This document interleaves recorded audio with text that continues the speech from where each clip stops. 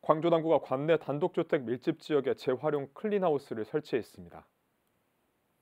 광주 남구는 최근 백운 일동 한 교회 앞과 주월 일동 푸른길 공원 주변 주택가에 재활용 clean house 두 곳을 각각 설치했다고 밝혔습니다. 한편 재활용 clean house는 쓰레기 배출 거점 장소에 하우스 형태의 간이 건물을 설치하고 플라스틱을 비롯한 재활용 가능 자원을 분리 배출할 수 있도록 하는 시설입니다.